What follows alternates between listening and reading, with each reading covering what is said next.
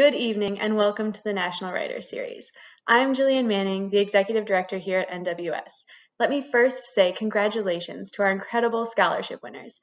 We wish you all the best of luck on your future endeavors and we can't wait to see what you do next. This evening is the perfect time to think about who we can grow up to be.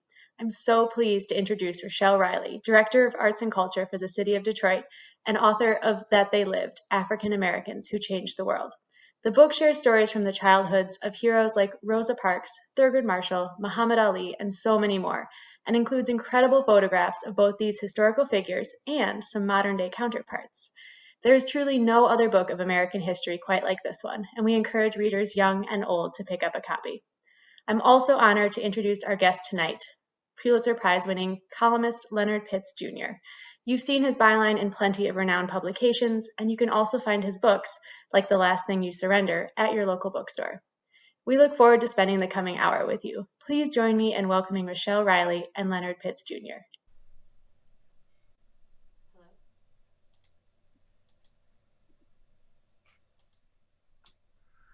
Good evening, all, and welcome. Uh, I'm surprised I'm not seeing Rochelle's picture on my screen, but I'm going to take it on faith that she's there somewhere. Uh, I, are we there? Yes. Okay. Uh, I am uh, pleased to be uh, to be your host uh, this evening, and, and and thankful to uh, Rochelle for asking me, and also to the National Writers Series for uh, for for giving me the opportunity to do this. I would be remiss if I didn't also offer my congratulations to the four scholarship winners. Writers are my favorite type of people. So I'm always happy to see four, uh, you know, or as many as possible, uh, new members of our tribe, I guess, for want of a better term. Uh, so we're going to spend a few minutes talking about uh, Rochelle's uh, latest book, That They Lived, and uh, we'll probably branch off from there. And then I believe we'll have a, a space for Q&A for any of you who have questions to, uh, to join the conversation. So Rochelle, I want to begin with, I, I, guess, what is the obvious question, and we'll branch off from there. But how did this book begin? What was the genesis? What what gave you the idea to uh, to, to, put this together? Which is essentially, I should explain, a, a book of um, biographies of African American historical figures, but tailored for young readers. Why did you feel this was necessary? Well, I have been, uh, as you and I have talked about, Leonard, on a probably 15 or 20 year mission to change the way we teach American history um, because we've been miseducating American children for so long and that missing history that stolen omitted history is a, a, big reason why we don't really get along uh, in this country. But this particular book came about because of a moment. I was working on the burden a book that you're familiar with because you contributed an essay to it. It was back in 2017 in february and even when i'm on deadline i have time for social media i'm on twitter all the time and uh, also on Facebook and Instagram. But on Twitter, uh, this, this, this woman was posting these photographs of her little girl as iconic African American women. I saw and, those.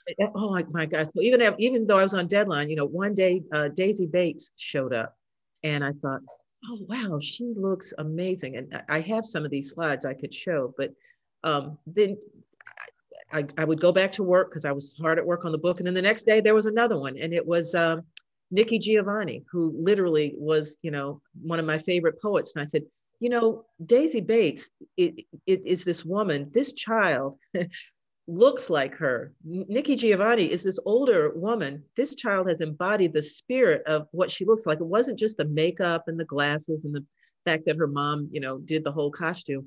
It was how her five-year-old daughter Lola really captured these folks. And so then, of course, I, the next day there was another one, and it was Maya Angelou. And I, I said, oh my God, okay, so she she gets all of this. This is a five-year-old kid who I am reading history despite its wrenching pain cannot be unlived. I, I think that if her mom said that to her, she actually understood it. So I decided that I would go to um, find this woman. I went on Facebook, looked her up. You know, we're reporters, we do this stuff all the time. I sent her a message and said, I love what you're doing. Please tell me how this came about. And she said, I wanted to teach my daughter history. And I figured the best way to do it was to take her love of makeup and uh, my love of photo, you know, photography because she was an amateur photographer. She took the first pictures with an iPhone, and I was going to do this, and th- that's how it got started. That's how I met her, you know, back in 2017. And so each, um, I, I, don't know the exact number of people you profile in this book. I'd say 17 or 18, somewhere in that in that range. Um, 21 for a reason. It, it, there's, no, there's no number in the title, thanks to a very smart editor named Annie Martin, because uh, you can't put a number on all the different people who have done amazing things and deserve right. to be in there. So um, they're 21, and, and I can explain that when we talk about Rosa Parks. Okay, well now let's talk about Rosa Parks. I was going elsewhere, but now let's talk about Rosa Parks and 21. So um, we had to figure out, like, well, first of all, let me tell you, this was a book of women because these were her daughter's photos. Right. And so uh, she didn't want to do this. She said, "Oh my God, I know who you are. You're this columnist and no i'm not going to do this book and i said oh no no really i have a thousand words you know pictures are worth a thousand words i have a thousand words for each of these photos let me do this and she said, No, I, I really don't think we should. So I got on a plane and I flew out to Seattle and I got in a car and drove to Kent, which is a suburb of Seattle, and went to her house. She knew I was coming. I didn't stalk her. Mm. and I took her family to lunch and finally convinced her to do this. And she mm. said yes. And once she said yes, and I said, Oh my God, you know, we could do an encyclopedia. We can do scientists and business owners and historians and educators. And she said, Oh no, we're not doing all of that. And I said, well, well, if we're only going to do one book, we have to do boys too, you know, boys to men. Right. He said, well, I will do that if you find a boy. So I said, well, I've got a boy. And I flew to Dallas and got my grandson, Caleb. So that's why there are men and women in the book. But let's talk about Rosa Parks. Okay. So when we had to figure out who would be in there, and I said, you know, we have hundreds of folks who have done amazing, amazing things, accomplishments, everything from inventions to changing people's lives. I want to pick people who who what they did was so big that they literally changed the way that African Americans are seen or changed the way that we live in America. And um, someone like Rosa Parks. Well, Rosa Parks everybody knows Mother Parks. Her funeral in Detroit that I covered when she passed several years ago was eight hours long. Presidents came, former presidents came, congressional representatives came. Her arrest, um, because she refused to give up her seat to a white man on a bus, is a story that's told in African American history. And when she told Lola that story, Lola got an understanding of what life used to be like for African Americans. So when she held up that sign, there was this sort of, you know, resolve in in her her demeanor that I really loved. But the story that I wanted to make sure people knew was that there was a 15 year old named Claudette Colvin who gave up her seat nine months before Rosa Parks did. And of course, the law did not change until there was a lawsuit. And the lawsuit was because of Claudette Colvin.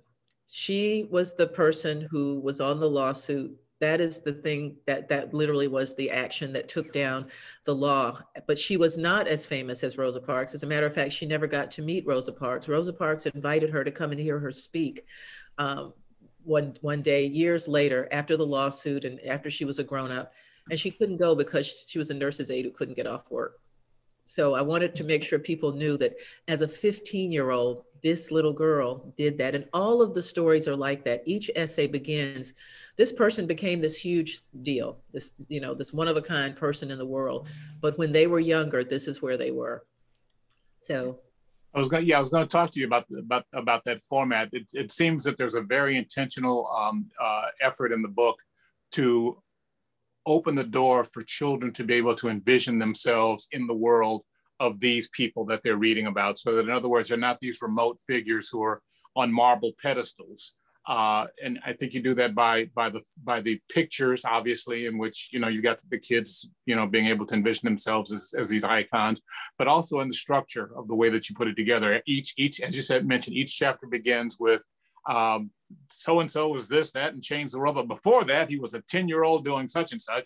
And then it always ends with um, the lesson yeah. You know, but and so what we learned from his life, what what was it you hope? Because obviously that's that's that's intentional. What was it you were hoping to convey to young people who read this from that? I, I, want young people of all races, all backgrounds, no matter what state they live in, to know that every important person was once a child. So there's mm. something that's happening in your life now that could help you decide who and what you want to be. And it is not what people call you or what people think of you, it's what you answer to or how you see yourself.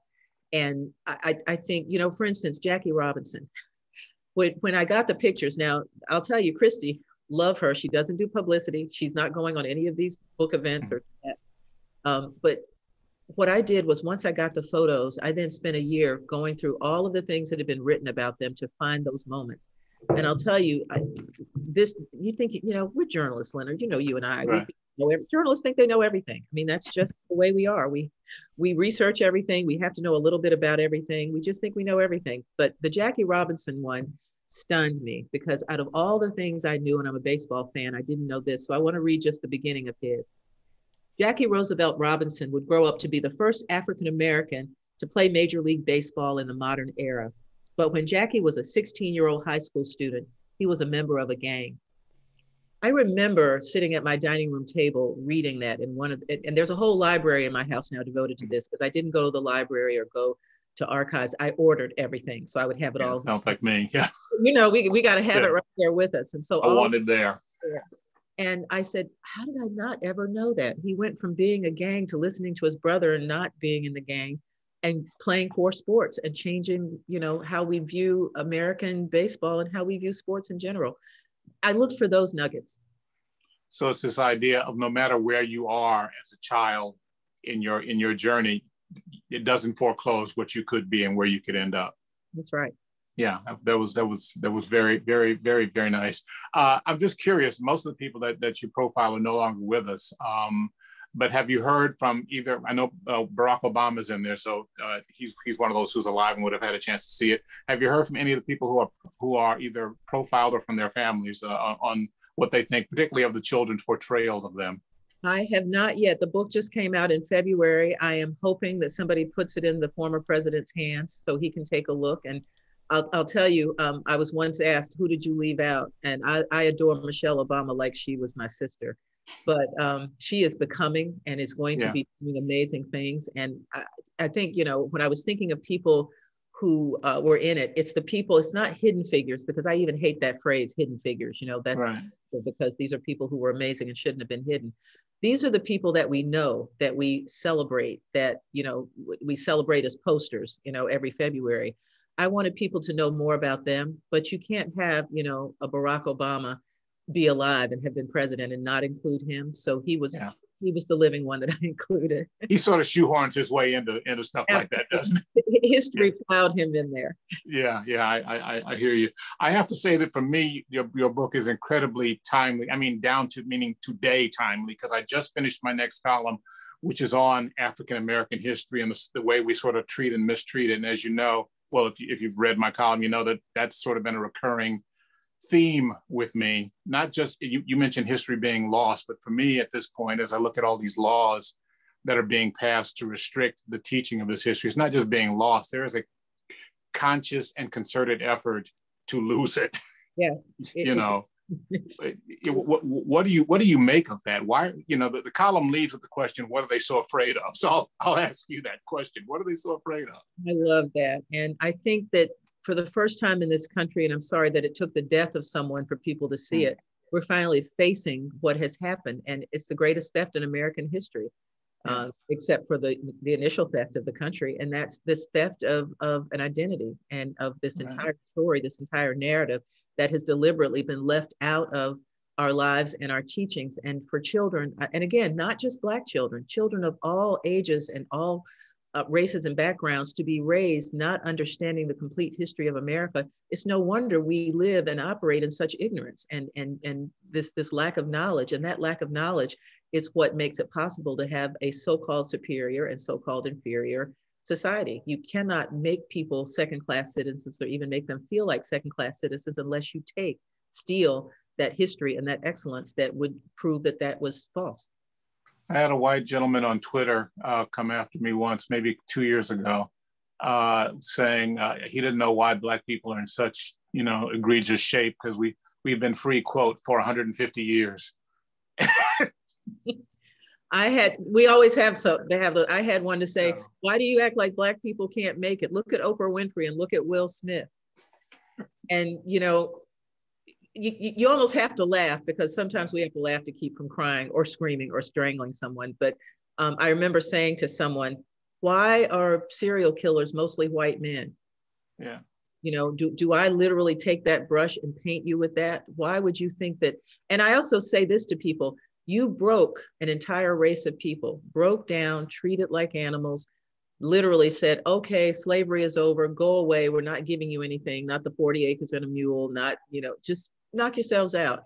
And we did, but you still ask, why are families broken? And why did we have to work so hard? And what, why is it still so hard? And it's because, and I say this all the time, slavery didn't end, it just changed addresses and it moved to the courtrooms and boardrooms and classrooms and newsrooms of America. And that enslavement continues with the discrimination and the lynching and the Jim Crow laws and all the things that continued to make sure that Black people could not succeed at the level of white people. It, it literally is how our country has operated forever. You remind me of a favorite quote uh, Africans did not become enslaved because they were Black, they became Black because they were enslaved. Um, which is sort of gets to this whole idea of using race as a justification for, as you mentioned, this just sort of inhumane inhuman treatment. And what's frightening is, you know, there was once a time when I say when I was a kid when you could engage in that treatment and still hold your head up as a white person and, and be invited to all the good parties and stuff. Mm-hmm. And then it went away. I'm not saying that that that feeling, that animus went away, but the ability to do that and still be a, a valued and, and well-respected member of society went away. And now it seems as if it's coming back. There are people who are just rank outright white supremacists who are serving in Congress, who are president, excuse me, you know, and it's just. It, it's like it, in, in America, hate has moved in cycles. So it went from, yeah. okay, let's just be real open about it and have barbecues and parties while we're lynching somebody. oh, well, wait, yeah. we have to put on white hoods because we don't want people to know that it's us. Oh, now we don't have to have white hoods. We don't even have to like hide ourselves. As a matter of fact, we can go and storm the Capitol and then wonder why people want to arrest us it, it, it's the cycles of hate that, that and, and we're in a really bad cycle now because people truly are Katie bar the door. We can just we can you know do voter suppression. We can literally pass laws that say you can't give water to people who are standing in line to vote. We can make sure you don't vote by mail. I, I, am looking at what's happening, and it is truly this sort of attempt to return to the Confederacy. Yeah, and yet what's frustrating is that you also know that there are so many white people one who don't know, or at least before George Floyd did not know, and who, if they knew, as the George Floyd case indicates, would be standing there shoulder to shoulder with you, as happened during the civil rights movement, as happened during the during the, the pre-Civil War era. So that you, yeah, which sort of gets back to another reason that you know some of us don't want this history known by all of us, because it would make people mad, yes. and it would and it would create it would create activism. And that's why it's so important for me in particular that we do not let a, a, small group of people who are literally operating on hate appear to represent everyone. And why it's so important for people who don't agree with that hate to stand up and say, no, that's not me. And this book for me is a way for us to remind all children that um, you don't have to be those things that somebody says that you have to be. Talk about that a little bit more because that, that is one of the more frustrating things that, and I, I asked a classroom full of, I've asked classrooms full of Black kids on occasion, if you had never seen yourself and seen a Black person on television or heard music or whatever, who would you be? In other words, what is the influence of all that stuff that comes to you that tells you who you are on shaping who it is that you actually that you actually become? And what do they tell you when you ask that? Because that's a really good question. They're sort of dumbfounded. It's like they've never really thought of it, you know, which tells me the degree to which they're shaped by that stuff. I, I think that, and I know that when I talk to my friends who are white, and, and they're horrified all the time, and, and right. it's hard for them to talk about it because in some instances, it's not that they didn't think it was true. It's not that they didn't believe me it's that they just never understood the overwhelming, you know, the burden of it, that the mass yeah. of it on your back all the time. None of them have to have the conversations with their children that we have to have with our children. None of them have to face the, oh my gosh, thousands of microaggressions that we face all the time. I have been with friends who have been livid because of something they saw. And I'm like, that's a little thing. We don't have to fight yeah. over that, that, that's I'll let you know when I need you to like strap on that. That's not it. Yeah. Um, and, and I think that th- there's this great moment in history where we are now where we have a chance to literally talk about that. The, the, the book literally is just to make sure that kids know, and I'm all kids, black kids know they're not just descendants of the enslaved and for white kids to know that black kids are not just the descendants of the enslaved and we have got to take that back to the textbooks that this texas cabal because texas buys more textbooks that are trying to erase not not accidentally but erase that history that is necessary for us to have a full understanding of each other you mean talk about the uh, immigrants and workers who came from Africa and stuff oh, like yeah. that? Migrant workers who just came to help build America and they didn't have to be paid because they got, you know, what is it? Cots and a, and a squat. No, cots and a. they, they got a cabin and, and food. So it's like, so they weren't really like mistreated. I, I hear people say those types of things and I literally don't bother to engage them because they're too far gone. Yeah, it, it's funny. You and I don't, but you, you mentioned your white friends, and it uh, reminded me of a colleague of mine. Uh, my she was my assistant until she retired, uh, who used to read my emails. That was one of her jobs. Yeah. And after a few months, she came to me and said, "I hate white people." And I said, I had to remind her first of all that she's white, you know. and, and she said, "But I don't know how you're not vibrating with anger." and I, you know, I told her, well, you know, you've only been vicariously black for a few months, so you know, you, are still calibrating. Yeah, you've been doing this for a long time. I did this yeah. just in Detroit for almost 20 years of that stuff. Yeah.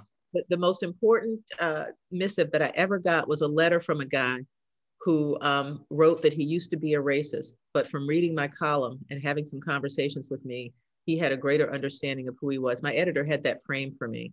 And mm. I, we have, it, it's just like that. Uh, it was either CNN or MSNBC where the black reporter was talking to different people after the Floyd verdict. And this white guy was wearing a windbreaker and he's just standing out there and you could tell he was just so tortured. And he said, I, I don't know what to do. Tell me what I can do, how I can do something. And I literally tweeted out, do not mock people when they are standing up saying, I want to stand with you. That, that is important because that is the only way we're going to get anything changed. Yeah you're a better woman than I am a guy because I've, I've had a couple of those of, of, those letters over the years, and they make me feel good. But then they also remind me of how many other people you talk about this stuff to, and it just sort of you know right over the head, or they just believe what it is that they that they choose to believe, and they're not going to change it no matter how much logic or, or feeling you bring to I, it. I'm not so much better than you. I try to engage the folks where I think there's hope. The rest of them I just block or ignore. okay. well, then we're on the same page. Yes. Uh, we have we have a question from the audience or comment. My my biracial African slash white uh, grandson is growing up in a loving but all white family and community. He is nine years old. What can I do to support his Black heritage? Your book sounds like a good start. So, what, what would you what would you suggest? Oh, that is so nice, um, and I'm yeah. so appreciating the question. And yes, the, the book is a good start. But the other thing is to just be willing to have the conversations you know, I've been watching This Is Us because I'm one of their biggest fans. Milo yeah, me too. Follows me on Twitter, and and I think that what happens sometimes is people think that they shouldn't bring it up. That let's not yeah. talk about it. When my daughter was four, she padded into my bedroom and said, "I don't want to be brown anymore." And that changed our lives forever. I wrote a column about that. As a matter of fact, I wrote that column while I was an editor, and that's how I got my column when I became. Mm. A, but I, I told her, um, you you cannot be upset because people are different because everybody is different whether you can see it on the outside or not right. what you want to do is celebrate the difference so i tell people all the time the worst thing you can do is tell me that you are colorblind or you want to be colorblind because that's a disability. It's a horrible thing and i do not want to hear that you are want to helping me by you know pretending like i'm not the color that i am and have the history that i am and have the rich narrative of culture that's in my life. So just just literally be willing to talk about it. Just go go with how they're feeling make sure you check in with them. It, it will always be hard but it's never impossible are there, are there things that you can do in terms of exposing them to not not just things like your book but exposing them to to certain cultural influences or or or or whatever that can, that can perhaps help to unisolate that child two things one is go to the smithsonian national mm. museum um, right. We go to Washington all the time to go to the Washington Monument and to go to the White House now that we can go to the White House again. But um, just find ways to teach that. But the other thing is make sure you're talking with their teachers. Right.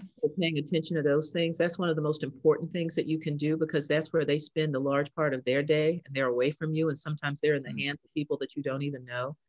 And I, I used to literally be a room parent for a day if I had to, um, mm. because you have to know what my daughter was in this um, accelerated elementary school. And, and so there were only three black kids in the classroom.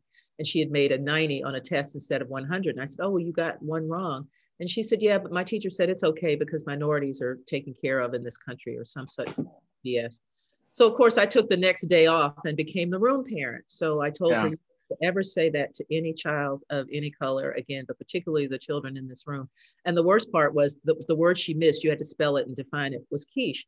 And I said, but you know quiche. And she said, I didn't remember what that was. I said, when we go to La Madeleine and have the egg pie, she said, why don't they just call it egg pie? So anyway. You, I'd you, be willing, I'd, I'd bet money, the teacher said, but I'm not a racist.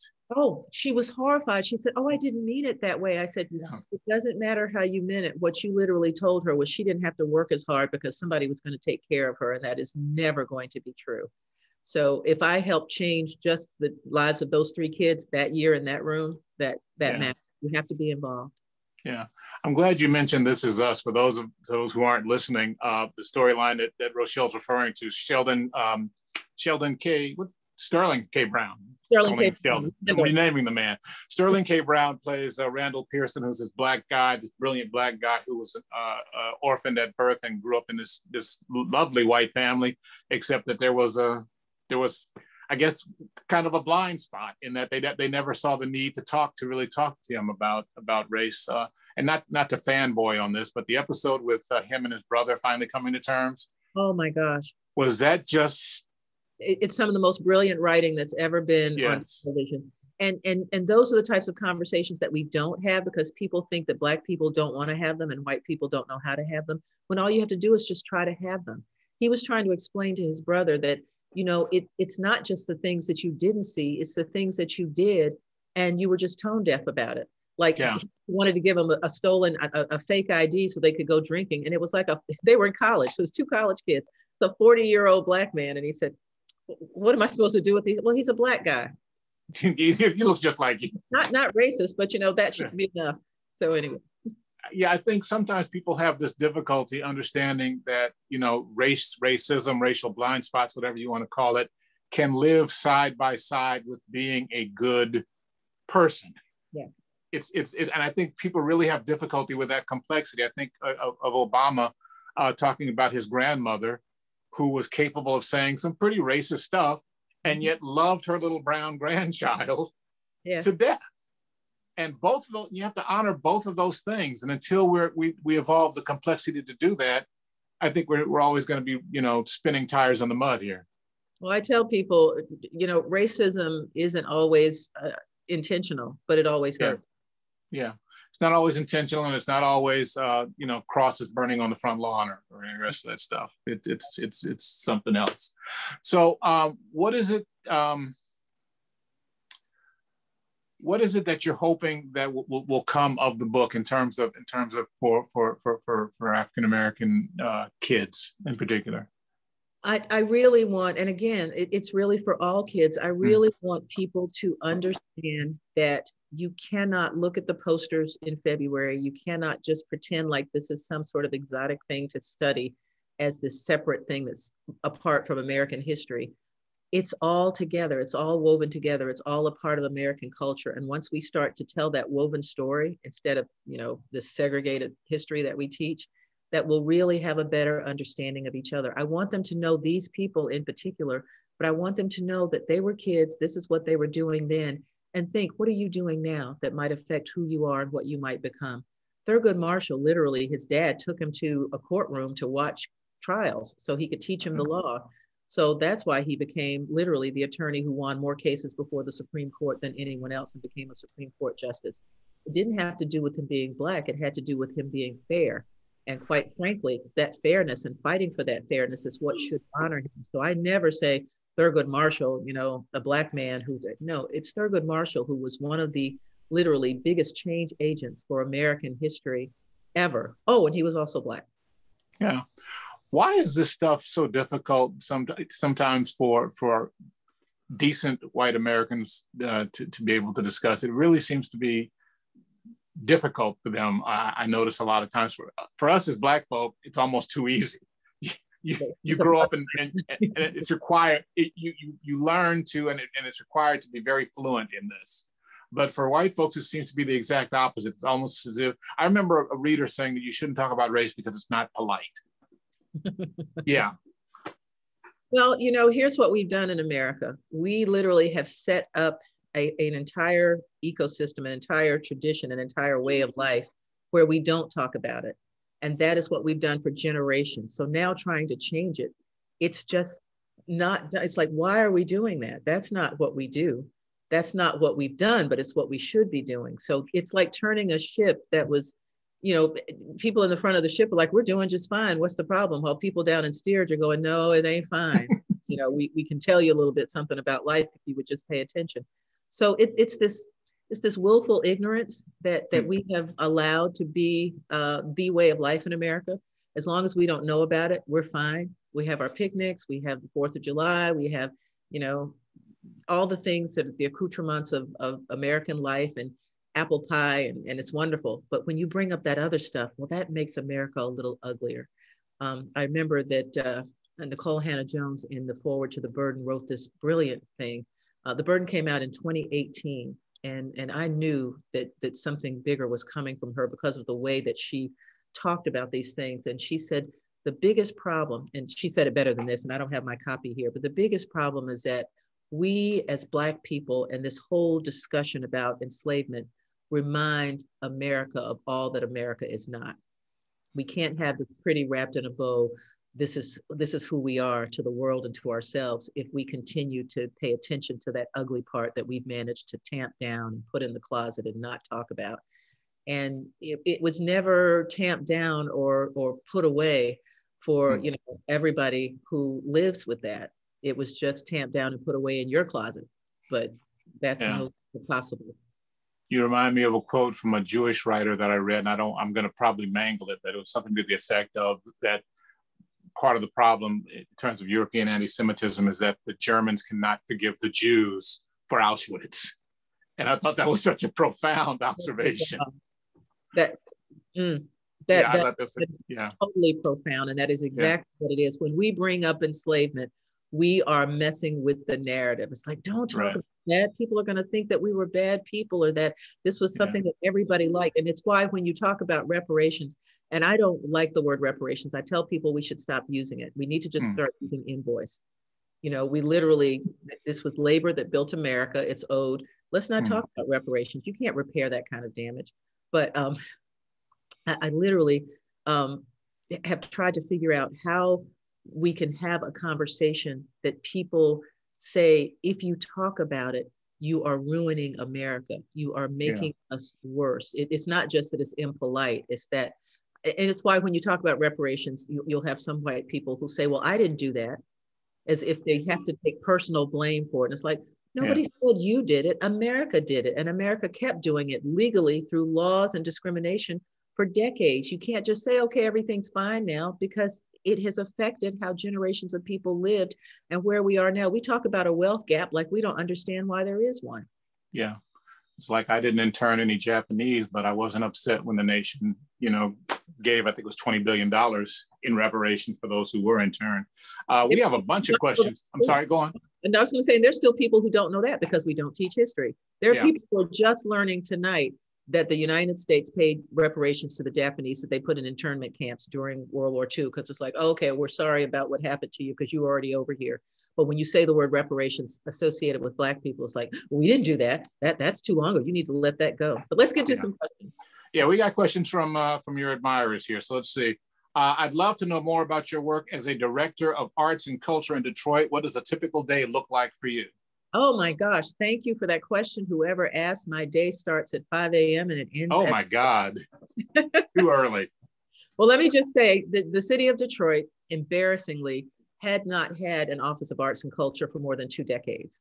Okay. So when we got ready to leave the Free Press, I had lunch with the mayor and said, "Okay, I'm going to be leaving the paper. What should I be doing?" And I asked him because we know each other. You know, we're friends. It mm. wasn't like asking for a job because there wasn't any job in city government that I would take. I I just would not do that. I'd written too many columns about city government.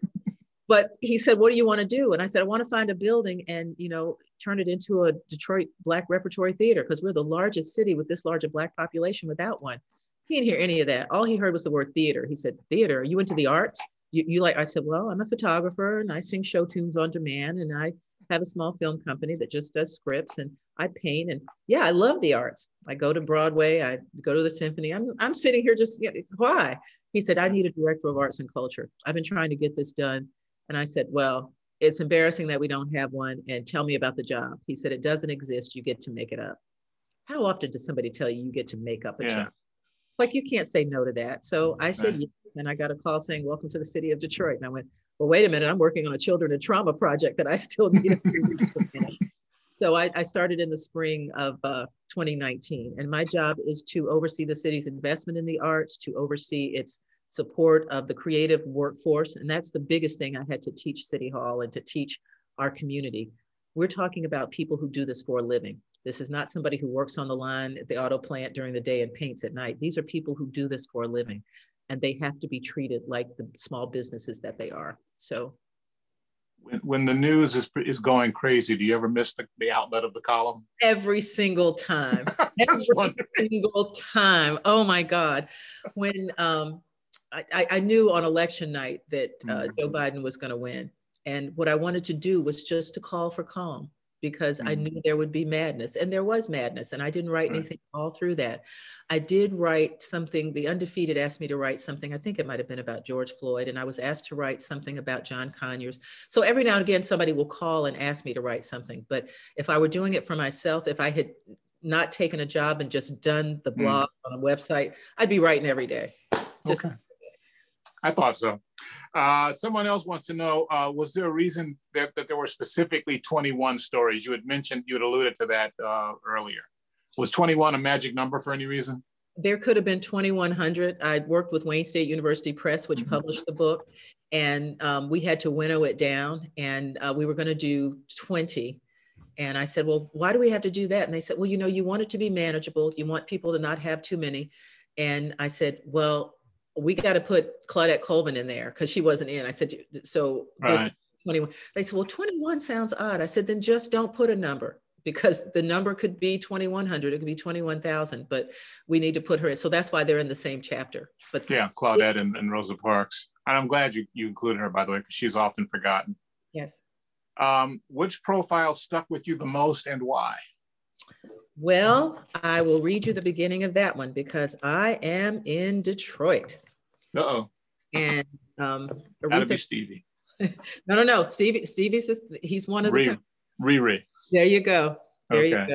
Aretha Louise Franklin would grow up to become the queen of soul, an international R&B singing sensation, and a quiet civil rights leader who helped African Americans gain equality. But when Aretha was 12 years old, she was pregnant. Now, I know because I'm here in Detroit, where we have a lot of young girls who are dealing with this, that this could change a life. Right. do not have to be defined by anything that happens when you're, you know, 9, 10, 11, 12 years old. Uh, it was the same thing with Stevie Wonder. You know, his mom, his mom walked him into uh, Hitsville, this little boy, 12 years old and blind, and said he's going to be a star. He can really sing. And Berry Gordy said, "You're right." Now, suppose his mom had not done that. You know, um, this was one of Caleb's favorite pictures too, because he loved playing Stevie Wonder. That's some of the music he knows. I taught my daughter how to clean house playing Respect, you know, by Aretha Franklin. Um, but but so much of of what we know about music and life and and and the way people ex, ex, the way people embraced music by black artists came from Motown and came from Aretha. But bigger than that, um, I broke the story a few years ago. Um, right after Aretha died about how she had this interview with Jesse Jackson. And I said, I know you haven't told this to anybody, how she used to pay the payroll for civil rights leaders who were out trying to change the world and they would run out of money. I said, I don't know that people knew that. She was right there with her dad when he planned the march in Detroit, where Martin Luther King wound up at the convention center and did the I Have a Dream speech first. The first I Have a Dream speech, yeah. A couple of months before he did it in right. office in Washington. There are all these amazing points in history that if we taught all of American history would change how we all see each other. Yeah. Okay. Um, as a white woman, how do I start the conversation with a black person without offending? You say, I'm a white woman and I want to have a conversation with you without offending you. I really want to understand some things and learn some things. Some of my friends who are white, we didn't come together because we were white or black. We came together over the things that we had in common. One of my good friends, Steph Caponegro, who literally I only met like after we had been on Facebook and Twitter talking to each other, mm-hmm. we're huge This Is Us fans. We would literally be on Twitter on, on uh, Tuesday nights counting down until we got to talk about and so now we have conversations that are deeper than that. Find the things that you have in common. See, this is how easy it is. If you know somebody, then you know the things that have nothing to do with their color. Get to know somebody beyond their color. Find yeah. out whether they play tennis, whether they liked The Young and the Restless or Days of Our Lives, whether they like chocolate or not. Um, and, and, just get to know people and pick a person. Don't try to get to know everything about everybody all at once. You know, if you work someplace and there's somebody who's a colleague of yours and you've never talked to them because they're black and you didn't think that you should have a conversation, go over and see if they want to grab a cup of coffee and ask, you know, what kind of books are you reading? And get yeah. to people where they are. Yeah, once you have that authentic basis for friendship, then it's, it's I think, it, I would think it becomes a lot easier. Yes. Uh, let's see. What do you think of the book White Fragility? And do you have any recommendations for great anti racism books? Um, Ibram X. Kendi's book, How to Be an Anti-Racist, is most important. Um, mm-hmm. Both of uh, Isabel Wilkerson's books. Um, yeah. The Caste and um, the great uh, yes, um, warmth of other suns. Literally, if, if you everything you read about the story that you didn't get in history books will give you a fuller picture of what other people might be like, and then you will learn that we're not that different. There's right. there's not you know the, the biggest difference are the differences we created to, to, to fit a formula. Um, but if you, if you literally Google, I go to the Google every day for something. If you Google um, great American books, uh, great Black American books, you will get a list of 100 different books. Pick the ones that sound interesting to you. Um, but be sure and get my book, The Burden, because if nothing else, it will help you to understand what that's like to carry that burden and how it's time for Black Americans to be able to put that burden down. America shouldn't just allow it. It needs to get out of the way so that we can. Down by the riverside. I'm sorry. that just started playing in my head. Lay down. um, let's see. Um, I'd like another book of your columns or essays. Any plans? Oh my gosh. Well, uh, I have been asked to do a sequel to The Burden because once I talked about The Burden, I've been working on a book called Laying the Burden Down to talk mm-hmm. about um, the 80 conversations I had around the country about that and what we can do to change things.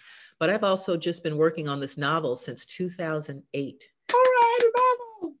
it started. Gonna come play. Gonna come play in my playground. Come know, on with it. I know. I'm scared. Um, it started as a short story in Nick uh-huh. Delbanco's uh, class when I was a Knight Wallace Fellow at the University of Michigan, uh, and based on that, the head of the uh, Master of Fine Arts program asked if I would, you know, seek an MFA, but it's a full-time job. And I said, no, I like my column. I can't do that. But I've now expanded it into a novel and I would turn my computer around, except you don't want to see this. But the chapter, the chapter, my dining table is round and it's spread around the edges of my dining room table, all the chapters as I go through and rewrite them for probably the, I don't know, 22nd time. Only 22nd? Oh, wow. You're lazy, man. so far but I didn't touch it for a long time. I was doing other things. So, all right. Uh, let's see. Thank you for this book. How do you plan to get this into the hands of school children across the country? I have some folks who are working on getting it to Detroit school children now, and I am asking for a recommendation from the American Library Association so that they can recommend it to all their libraries across the country. But I'm counting on folks like the folks on this call to call the school district where you are and tell them this is something they should have. Um, mm-hmm. A friend of mine, Alice Randall, who just wrote Black Bottom Saints, she's amazing, New York Times bestselling author. She teaches uh, teachers how to teach children literature. Um, that's what mm-hmm. she teaches at Vanderbilt. She's going to use it as one of her textbooks. So uh, it, it, can happen when people ask for it. I, I did a uh, session, um, all of these have been Zoom. So the great mm-hmm. thing about this is unlike the burden, I've been to places all over the country, right here at my dining room table, which is where I'm sitting now.